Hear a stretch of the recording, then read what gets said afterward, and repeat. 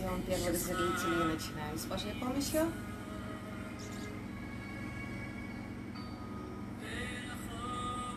Добрый вечер всем.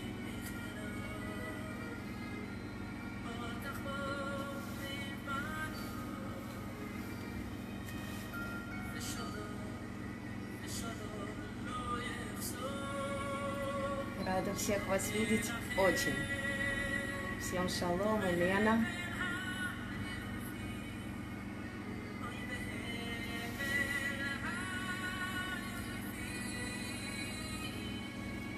Прошу обратить внимание на песню, которая у нас играет. Она у нас будет занимать сегодня очень центральную часть нашего урока.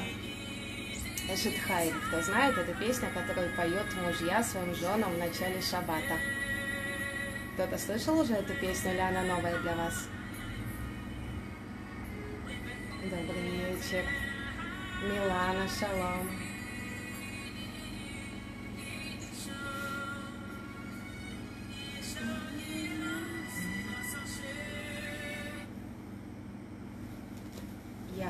Очень рада всех вас видеть. Добрый вечер.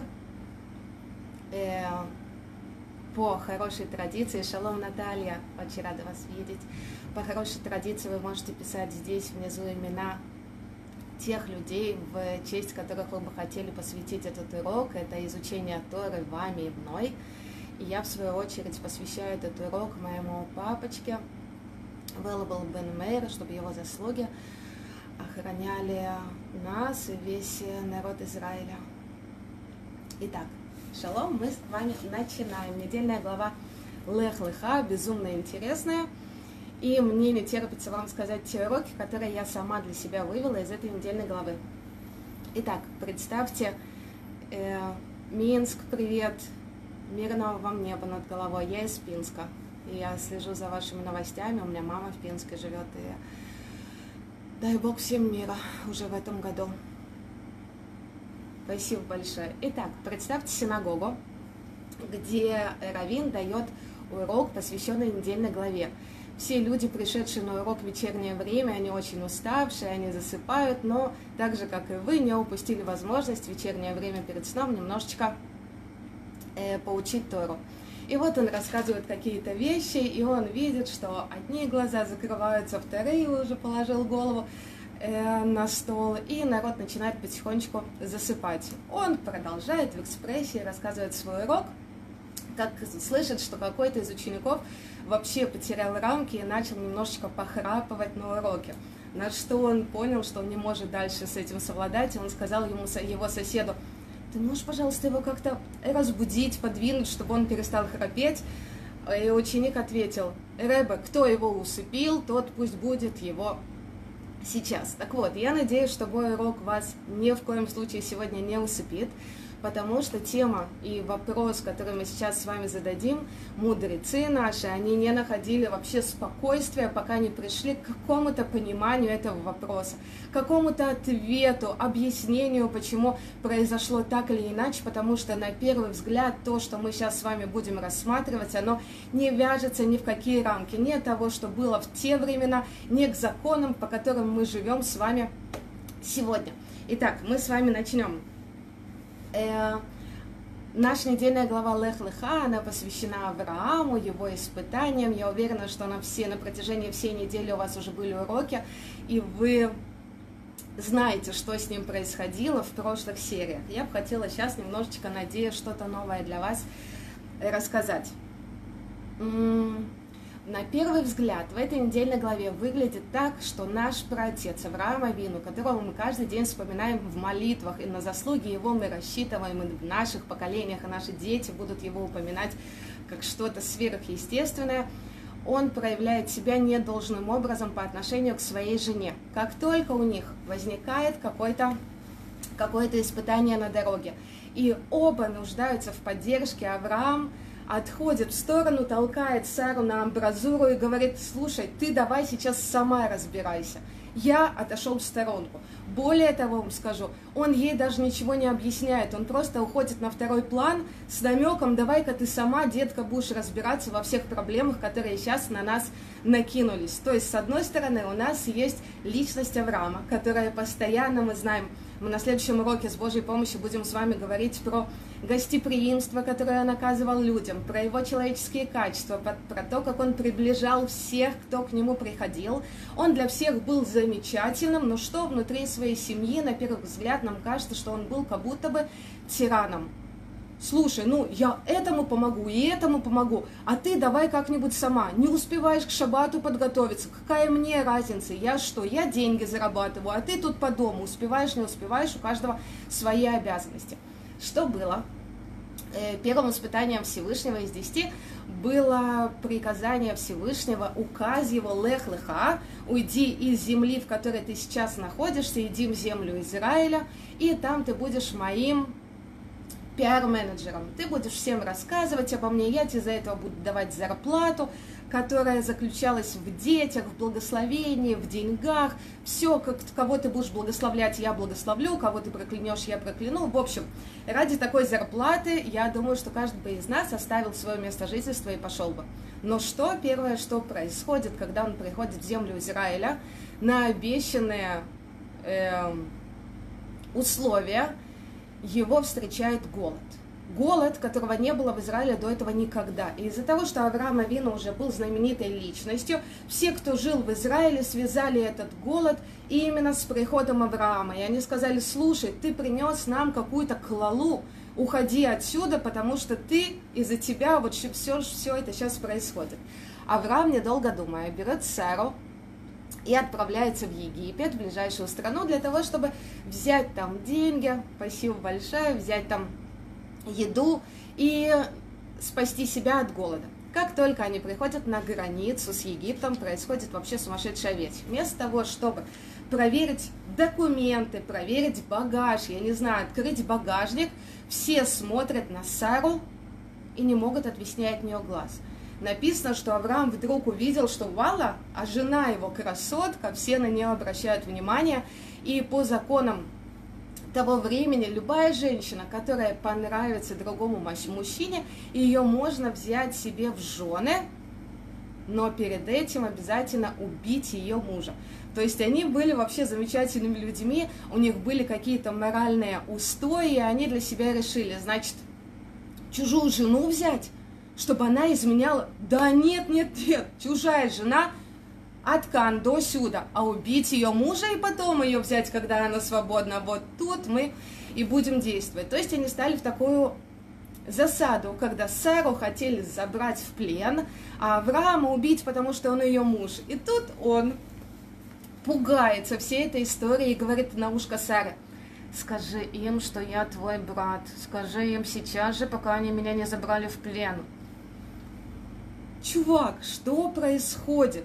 Мы с вами разговаривали про Ноаха, который не обращал внимания на поколение, ему было все равно, что его бабушка и дедушка и все его родственники погибнут в потопе, главное, что он выживет. Мы с вами говорили, почему Ноах не стал нашим праотцом, а стал Авраам, который думал обо всех на свете. И тут мы понимаем, что он думал обо всех, кроме о своей жене, потому что он подставил ее, как ли Авдель, Адам, помните, когда Э, Всевышний у него спрашивает, ты что, съел я, э, плод от дерева познания добра и зла? Он сказал, это не я, это жена, которую ты мне дал Всевышний, это вообще какая-то подстава, я здесь не виноват. Авраам в данной ситуации поступает точно так же, и мы не понимаем, почему этот человек вдруг стал для нас примером подражания, когда в первой же, во втором уже испытании он подставляет так свою жену и как бы, слушай, главное, что со мной все будет хорошо, ты как-нибудь там справишься. Сказать, что Авраам был боязливым человеком, вообще мы не можем, потому что на тот момент произошло одно из тоже испытаний, когда вышли на войну две империи. Пять царей против четырех царей, и четыре победило пять. И вот эти четыре царя решили установить свои порядки в мире и взяли в плен Лота, который по стечению обстоятельств оказался племянником Авраама. Как только Авраам слышит, что его ближайший родственник находится в опасности, он не смотрит на то, что это империя, четыре царя, огромная армия. Он сам со своим эм, слугой Элезером выходит на войну, побеждает, чтобы освободить Лота. Окей? А тут в нашей ситуации мы вообще не говорим про четырех царей, про Лота, мы говорим про одного царя и его любимую Сару. Откуда я знаю, что это любимая Сара? Потому что, извините меня, мы знаем, что он десятки лет прожил с этой Сарой вместе. Спасибо вам всем большое за отзывы. Прям вдохновляете. Итак, мы знаем, что, к сожалению, основным триггером к разводам и неладу, раз, раз, да, разладу в семье является какие-то испытания, какие-то проблемы, с которыми человек не умеет справляться, и они вместе где находят общий язык, и семья распадается. Почему сейчас во время короны мы слышим столько много, к сожалению, историй? Потому что вдруг люди начали между собой общаться, вместо того, чтобы пропадать на работе и возвращаться в 10 вечера, когда все спят, и поняли, что есть очень много проблем. Нету работы, нету зарплаты, нету друзей, нету обычного образа жизни, и семьи начинают ссориться. Сказать, что у нас с вами сейчас проблемы, это вообще клюм, гурништ. капля в море по сравнению с тем, что было у Авраама и Сары. Во-первых, у них 90 лет не было детей. Всевышний обычным нашим нам сказал людям, что как только у пары нету 10 лет детей, они могут развестись, потому что, наверное, вот есть какая-то проблема больше, чем природный вопрос, который может решить врач. У Сары Авраама первое время не было денег вообще. Все обещания, которые Всевышний обещал он просто не исполняет. Нету зарплаты, нету детей, нету уважения, нету ничего. И они вместе с этим продолжают жить счастливую жизнь. Когда Сара умирает, Авраам находит для нее самое красивое место для того, чтобы ее там похоронить с уважением. И он, несмотря на то, что ему дают бесплатно это, на этот надел, это место, он за него платит полную стоимость для того, чтобы дать последнее уважение своей жене. То есть была любовь, Авраам совершенно нельзя его назвать как-то на русском, боязливым человеком. И тут он себя ведет как последний, извините меня, подонок. Не об Аврааме будет сказано, но вот если на нашу с вами ситуацию перенести, когда мужчина так подставляет жену и оставляет ее один на один с такими большими проблемами, мне кажется, что никто этого человека не будет уважать, и тем более э, на протяжении уже пяти тысяч лет и рассказывать детям, что вот он для нас пример подражания. Значит, есть тут что-то, что Тора нам хочет сказать, намекает нам, и мало того, что намекает, из этой истории мы еще с вами можем что-то выучить. И я вам скажу, поступайте так, как он. Итак, где же здесь такой глубинный замысел во всем этом? Более того, я вам хочу усилить э, всю эту ситуацию и сказать, что не, не только он решил Сару подставить, отдать ее в плен, сделать из нее вторую жену, я не знаю, какого-то там э, ребенка, он еще сказал очень странную фразу. Если вы откроете недельную главу Лех Леха, 13 посук, то там будет написано так. «Скажи, Сара, что я твой брат, спасибо большое, чтобы благо было мне ради тебя». Что происходит? Мало того, что обмани, мало того, что я тебя там оставляю, ты сама как-то справься, еще и давай мы из всей этой истории сделаем бизнес. Ты не понимаешь, сколько бабла мы можем срубить от этой всей сделки, от этой всей ситуации. То есть, вы понимаете, что происходит? Это как если человеку сказать, давай ты станешь на рельсы, и за секунду до того, как поезд пронесется по этим рельсам, ты оттуда соскочишь, но видос, который мы снимем, соберет миллионы лайков, и мы сможем срубить с тобой много-много денег.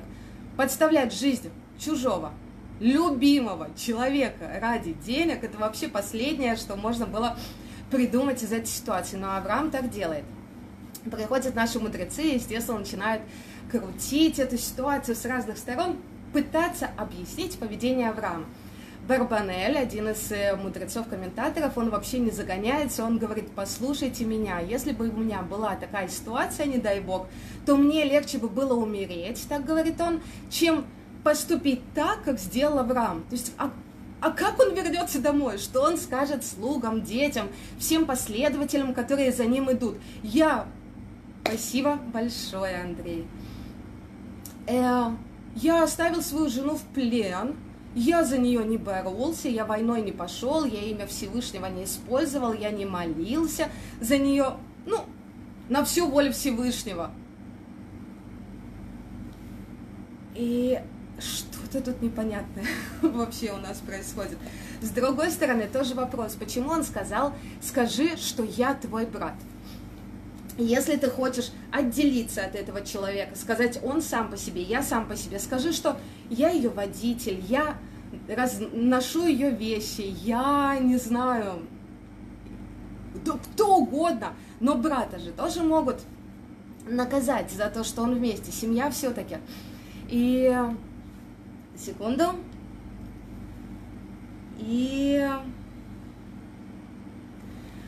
Рамбам нам рассказывает интересную вещь, что в те времена было принято, что женитьбой шатхан, вы знаете, кто такой шатхан? Это человек, который э, служит инструментом в этом мире Всевышнего, соединять пары, знакомить их между собой.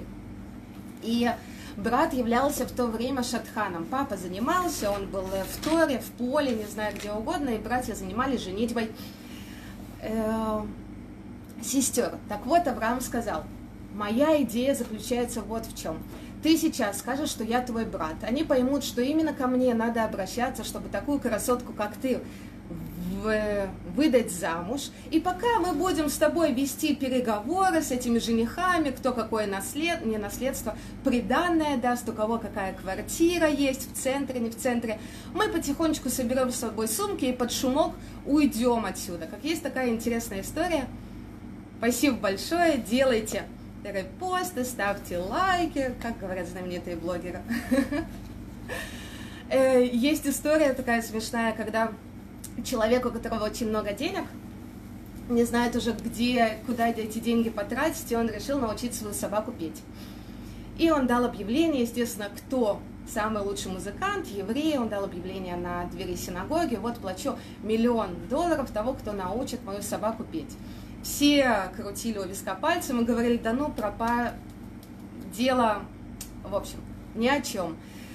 Кроме нашего Гершеля, который сказал, а чего нет? Подошел он к этому человеку и сказал, я готов научить твою собаку петь за этот миллион долларов. Единственное, что мне надо для этого 7 лет. Приносит он огромную сумму денег и собаку домой.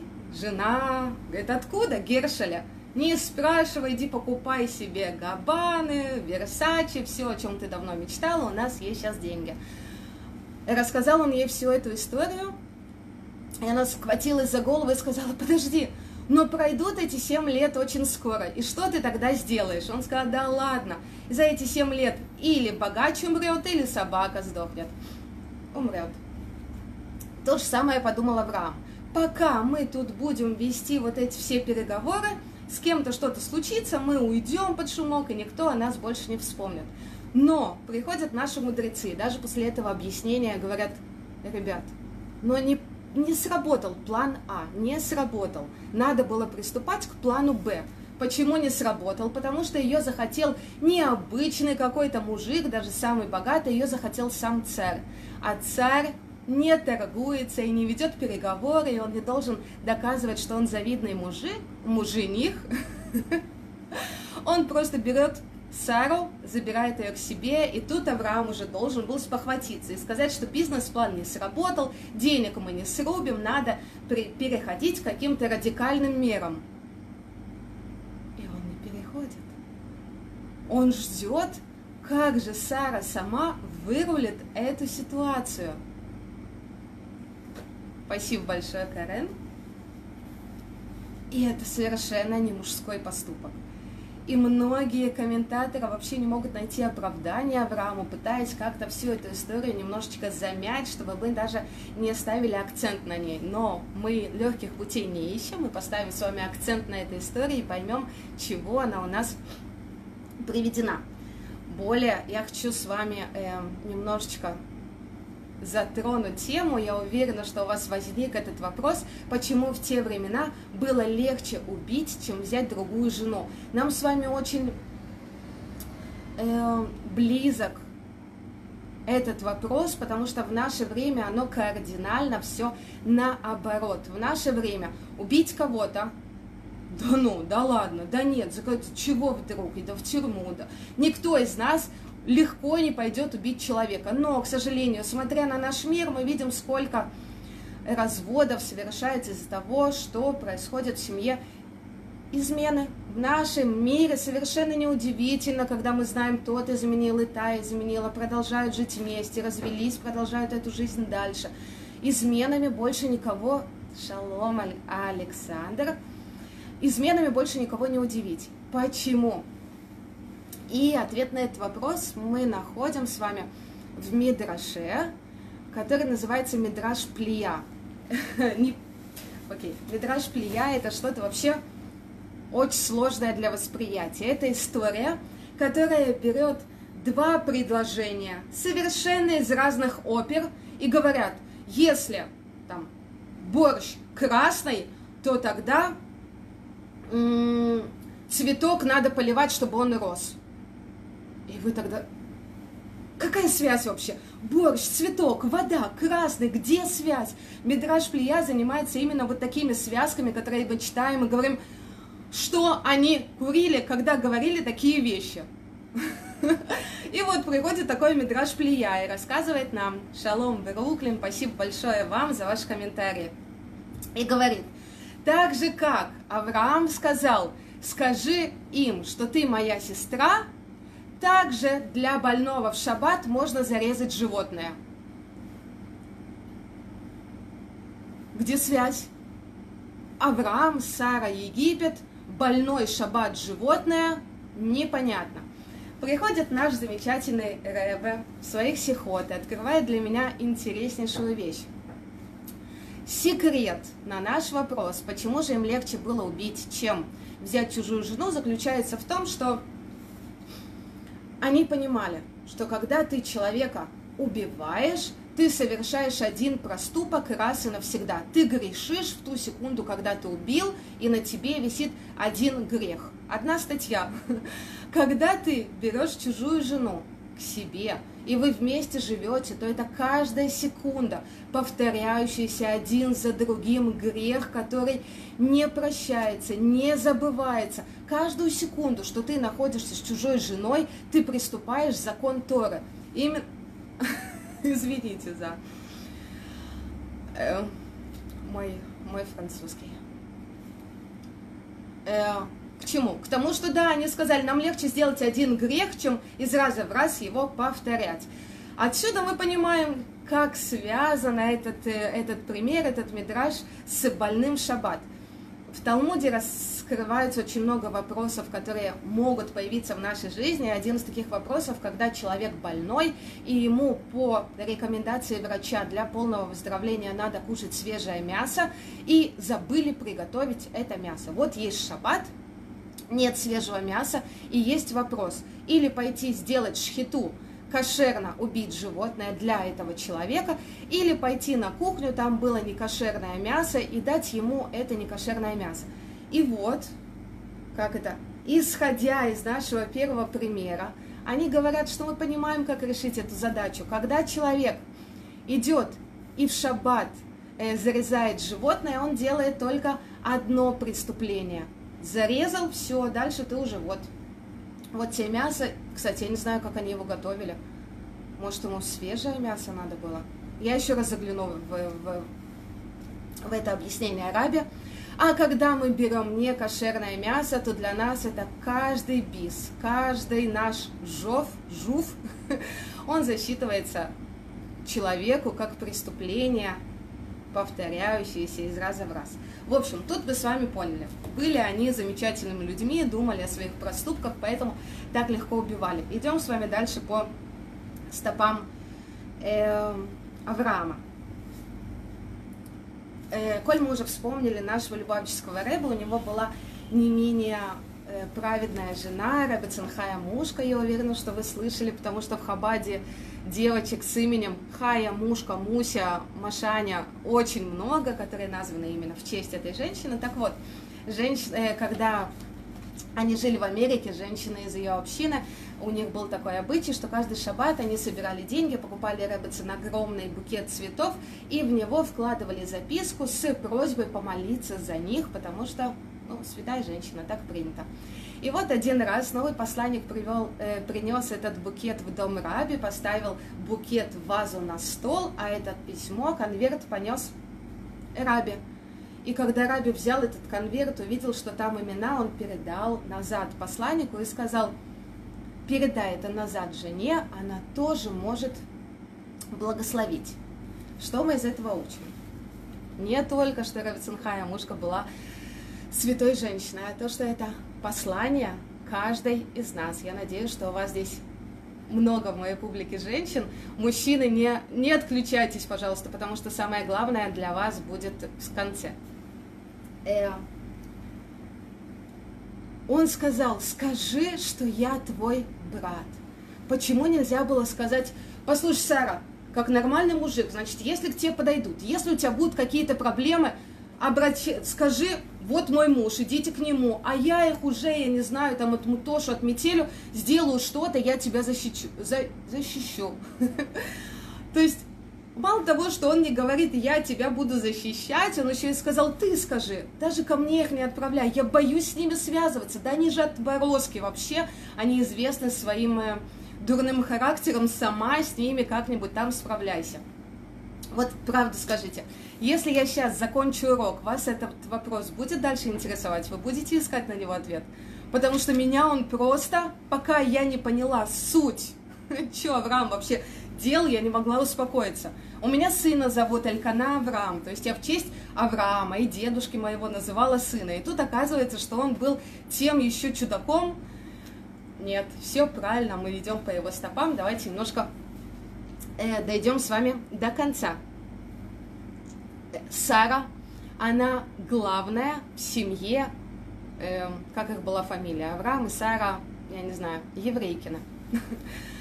Откуда мы знаем, что Сара была главная? Потому что когда возник у них спорный вопрос, и в их святой семье тоже эти вопросы случались, когда они не знали, как найти компромисс. Один из таких вопросов, я загляну немножечко в их э, внутреннюю жизнь, скажу, что это был вопрос, когда у Сары родился сын Ицхак, и дома еще жил Ишмаэль. Ишмаэль, он был с очень дурным характером. В наше время я бы сказала, что она увидела, как ее Ицхак, панька, мальчик, который целый день с папочкой учит Тору, вдруг сидит на крыльце дома, и Сара видит в окно, что Ишмаэль ему показывает – Смотри, Facebook, тут столько всего есть.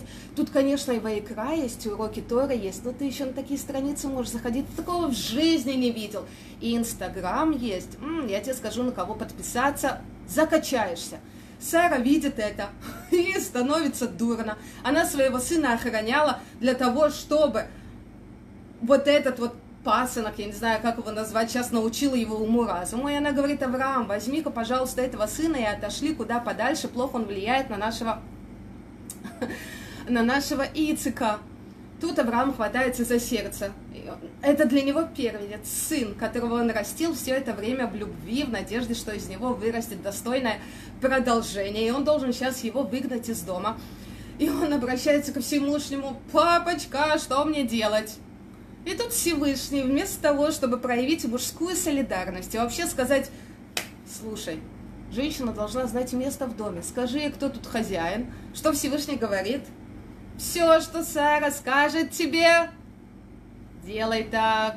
И это любимое предложение вообще всех женщин в любом споре. Женщины, запомните, сам Всевышний Аврааму сказал, в какую школу послать, какие, я не знаю, продукты покупать. Ладно, мы сейчас находимся в карантине, у меня нету, слава богу, глобальных проблем, все проблемы в бытовухе, поэтому и такие примеры у меня лезут в голову. Но в любом случае, все, что Сара скажет тебе, делай.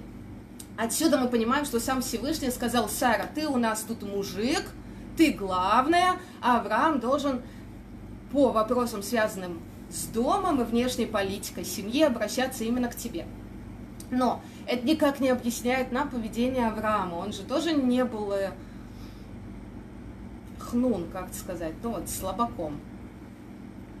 Кстати, я вам больше скажу, это недельная глава, если вы знаете каких-то феминистов или сами таковой являетесь, пожалуйста, вот скажите, что эта глава, она не то что феминистская, она любую феминистку за пояс засунет, потому что если феминизм говорит нам, что женщина в нашем мире, в наше время должна приравниваться к мужчине и быть на том же уровне, занимать те же должности, эм, я не знаю, что там эти феминистки говорят, вообще мне непонятно. Но что Авраам Авину загнул еще глубже.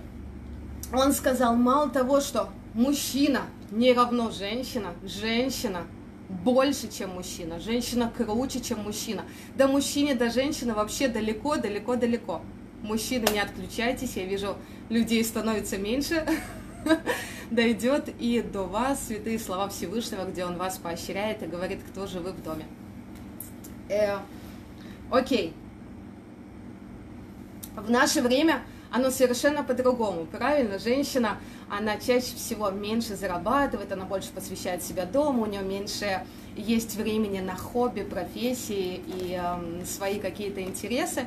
И поэтому нам так сложна эта ситуация, когда Авраам на амбразуру отправляет Сару, а сам как бы играет роль слабой женщины, которая не знает, как себя вести. Я вам расскажу небольшую историю, которая связана с семьей, которую я непосредственно знаю, то есть с их предками, кто в Киеве, в Донецке был, вы знаете, семью Вишецких, вот я вам сейчас расскажу историю, связанную с их семьей. Когда-то они, кстати, вот я не помню, где они жили, уточню с Божьей помощью. Это было советское время, когда ребенок должен был ходить обязательно в школу, и школа была тоже по субботам. И, естественно, для каждой еврейской семьи это была огромная проблема, и каждый раз семья Вишецких придумывала какой-то какую-то причину, чтобы не вести ребенка в школу. Бабушка поехали, насморк пошел, я не знаю, собачка, хомячок умер. Каждый раз они откладывали вот эту вот эм, нужду ходить в школу в шаббат. И вот в один раз вызывает директриса ребецен Вишецкую и говорит, послушай, я понимаю все, что происходит. Я закрывала все эти годы глаза на то, что вы каждую субботу пропускаете, не пишете, забываете рюкзаки и ручки. Но сейчас пришел вступ, э, как-то ЕГЭ, выпускной экзамен. И если твой сын не придет на этот экзамен, он не допустится к аттестату, он не получит бумажку, что он закончил школу, непонятно, кто из него вырастет, без бумажки ты букашка, вы обязательно должны прийти, иначе я это дело отправлю в высшие инстанции. Испытание, испытание. Шаббат утром берет она своего ребенка, Мойшу, и отправляется с ним в школу. И хасиды, которые стоят рядом, Раб Футер, Фаст и Раб Вишецкий, они смотрят на нее, естественно, не говорят ни слова, потому что я не знаю, как бы я выдержала это испытание. И вот они идут молча до школы всю эту дорогу. Это были, э, был период э, зимних, э, зимних дней. И, в общем, не доходя до школы, мама вдруг делает что-то неожиданное она берет своего ребенка и окунает в холоднющую грязную лужу со снегом, с грязью, со льдом, поднимает его и ведет к школе. Когда они подходят ко входу, директриса, которая, директор школы, которая встречает всех – перед таким важным экзаменом, хватается за голову и говорит, вы что, как вы себе позволяете, да он же грязный, да он же мокрый, да как вы могли его в таком состоянии в школу привести? И она говорит, ну, упал ребенок, что делать? Ведите его домой, грейте, одевайте, переодевайте. Она говорит, ну как же, экзамен. Какой экзамен? Здоровье ребенка важнее. Она возвращается, и хасиды видят всю эту историю, что ребенок вернулся, не нарушив шаббат, они у нее спрашивают, как же тебе удалось, и она рассказывает какую-то историю, связанную со своим папой, когда он ее научил, как, на какие поступки, действия мы можем идти для того, чтобы осветить имя Всевышнего и не нарушить его заповеди. Эту историю я вам не приведу, потому что я очень боюсь, что мы с вами не, не впишемся в, во время урока, но поверьте, что там очень вдохновляющая история. К чему я эту историю привела? Потому что э,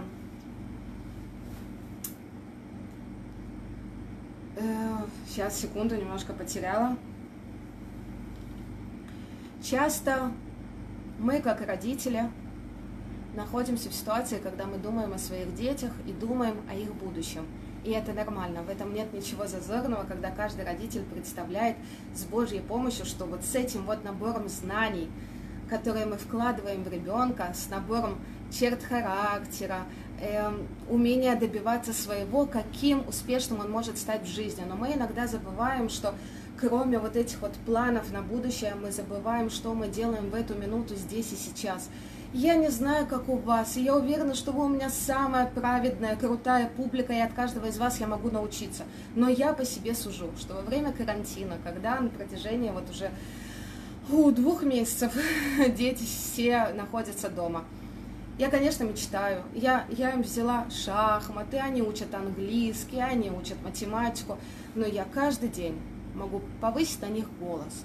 Я могу Э, не уделять им время столько, сколько я бы хотела. Я могу залипнуть в телефон и не обратить внимания на то, что они там делают. Я как бы думаю о будущем детей, но про это наше с вами время я забываю.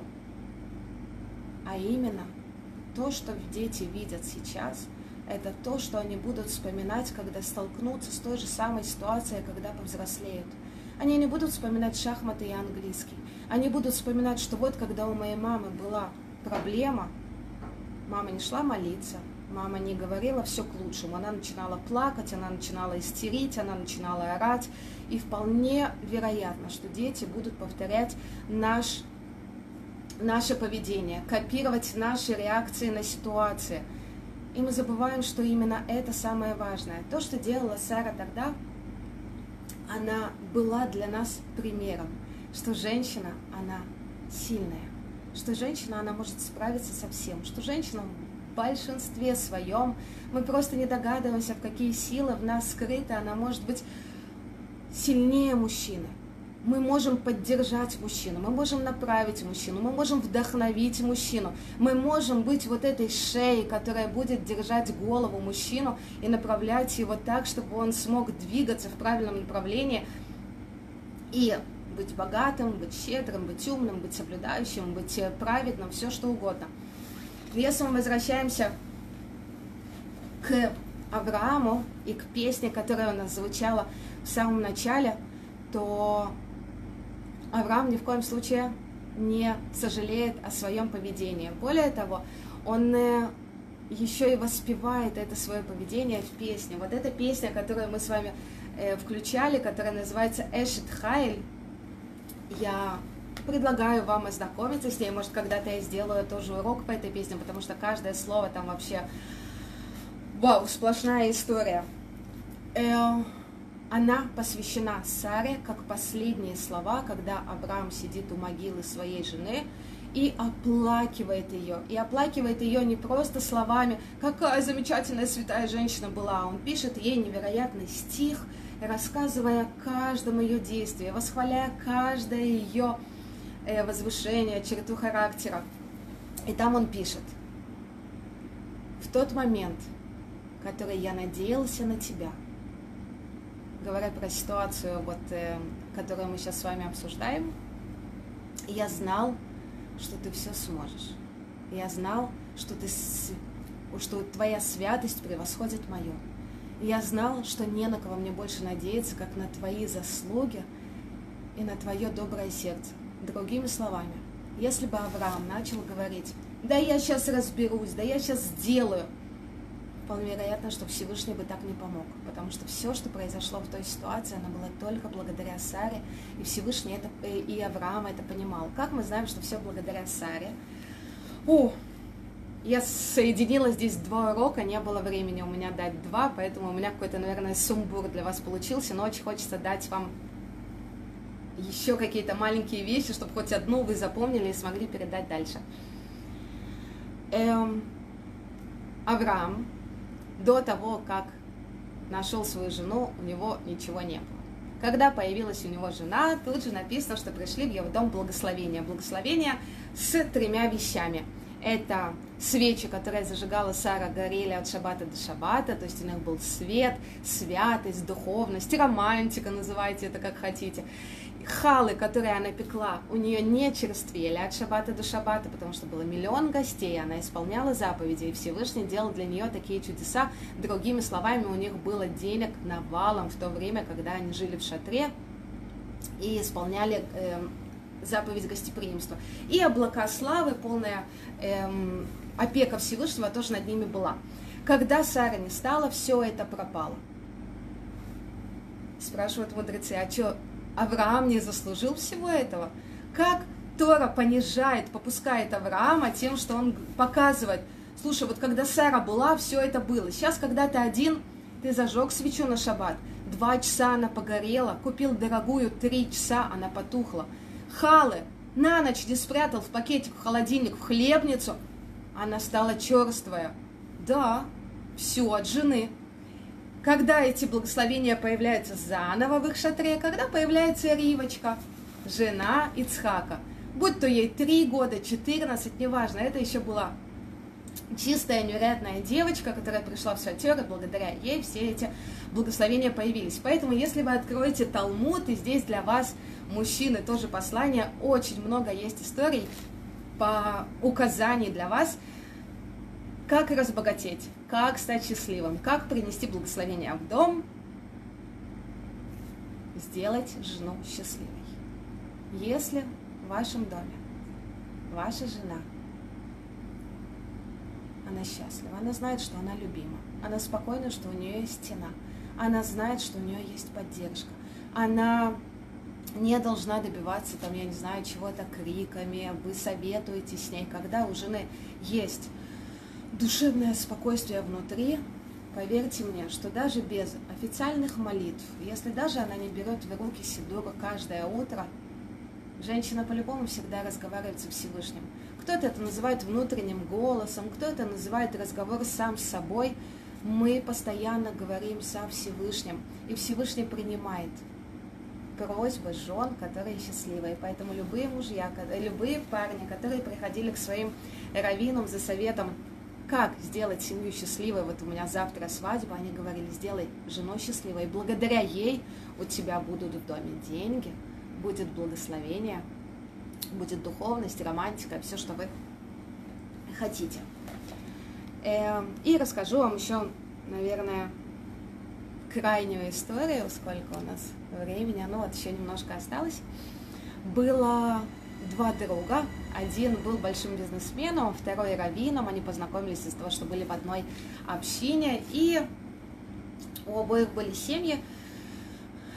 И когда этой дружбе, как это стукнуло уже много лет, и они уже вырастили своих детей и смогли обернуться назад, посмотреть, какие плоды принесло их образование, они поняли, что произошло что-то странное. Очень прошу вашего внимания, потому что для меня эта история прям указатель, вектор направления, в котором я хочу двигаться каждый день. Этим секретом я стараюсь пользоваться, потому что для меня это самый главный секрет, как сделать так, чтобы наши дети продолжили нашу дорогу, чтобы они верили во Всевышнего, гордились тем, что они евреи, не боялись сложности, которые, на первый взгляд, диктует нам Тора своими заповедями. Итак, у Равина все дети пошли в бизнес, а у бизнесмена все дети стали заниматься Торой. И вот в один из э, Фербренгенов, который произошел в синагоге в субботу утром, в пятницу вечером, неважно, когда они поднимали лыхаем, говорили слова Торы и изрядно на... напившись, Равин подошел со всей болью к своему другу и спросил, как? Ну как? Я целыми днями учу Тору, я преподаю, я не жалею денег на книгу, у меня весь шкаф за, заставлен святыми книгами, мои дети, никто не проявляет интереса к учебе к Торе, э, так, как делается это у тебя. И он сказал секрет. Говорит, посмотри на свою жизнь. Ты всю жизнь преподавал в Ешиве. Ты утром вставал очень рано, шел в микву, потом на утреннюю молитву, потом ты преподавал весь день парням, у тебя голова была забита только Торой, ты раскрывал какие-то новшества, ты приходил домой в 7 вечера, и тебе уже больше ничего не хотелось, как просто сесть на диван, взять газету и немножечко почистить голову от вот этого напряжения, которое у тебя было весь день. Что твои дети видели, придя домой после тяжелого дня, будь то школа, университет, ешива, работа, да все что угодно. Они видели папу, который вечером отдыхает от Торы, не берет ни одну из купленных, заставленных в шкаф книг. Он сидит и читает газету, заглядывает в Facebook, я не знаю, делает какие-то свои дела. У меня же было наоборот. Я шел утром на работу. Я зарабатывал деньги. Я посвятил себя всего бизнесу. Но когда я приходил домой, больше всего на свете любил открыть мидраж, что-то почитать, что-то рассказать детям, помолиться, дать сдаку, немножечко почистить голову и посвятить свои мысли духовности, чему-то более э, глубокому, чем постоянный побег за материальными благами. И это то, что видели мои дети. И это для нас очень большой показатель, что мы, как родители, должны понимать, что дети на нас смотрят и видят. Они не слышат нас. Никто из детей не слышит. Будь добрым, будь хорошим, не обманывай. Если когда мне звонят по телефону, я говорю, Элькана, подними трубку и скажи, что мама моется, когда я не хочу, например, с кем-то говорить. И сто раз я ему скажу, Элькана, нельзя обманывать. Мама обманывает, когда у нее есть от этого выгода, значит, так можно. Значит, слова ничего не значат. Значит, только действия. И поверьте мне, что когда мы с вами немножечко посмотрим на себя со стороны, мы поймем, что наши действия очень часто диктуют не ту информацию, которую бы мы хотели передать нашим детям. И у нас с вами есть два замечательных урока из этой недельной главы. Первое, у женщины есть очень много сил, очень много потенциала, который мы иногда самих себя не видим. У мужчины есть возможность улучшить свое состояние тем, что он будет любить жену, уважать жену, спрашивать больше, как у нее дела. У Раби, например, когда спросили, как вы сохраняете такие теплые отношения с женой, Раби Цинха и мушкой, когда у вас столько дел, вы ночью раздаете доллары, утром вы молитесь, днем вы э, проводите уроки, как у вас есть шломбайт, на это Раби ответил, 15 минут. 15 минут в день, которые никто не может у нас забрать мы сидим и общаемся. И будь то я пропустил молитву, я пропустил ученика, я пропустил урок, я пропущу заповедь, есть святые 15 минут, когда моя жена знает, что нету никого важнее в этом мире, кроме нее. Что нету ничего важнее в этом мире, чем то, что она мне сейчас скажет, даже если это будет просто... Знаешь, как я сегодня рыбу приготовила по новому рецепту? Услышала, приготовила, там даже Кузбера была, представляешь? Даже такие разговоры они делают женщин, поверьте мне, счастливыми, э, с чувством, что мы нужны, что нас слышат, что нас слушают. А счастливая жена, она принесет ваш дом и деньги, и счастье, и детей, которые будут идти с Божьей помощью правильной дорогой. Желаю каждому из вас, и мне в том числе, уметь видеть свои сильные стороны, уметь видеть себя со стороны и быть хорошим примером для наших будущих поколений, потому что они всегда будут на нас оборачиваться. Я закончила. Кто из вас еще не сделал репост этого урока, прошу вас сделать, несмотря на то, что я скромная, и я все-таки надеюсь, что кому-то, может быть, этот урок может помочь, вдохновить, и ну, вам же не сложно, а мне приятно. В общем, желаю вам хорошей недели, благословенного шаббата. И главное, самого крепкого здоровья, шломбайта и детей. Много-много здоровых-здоровых.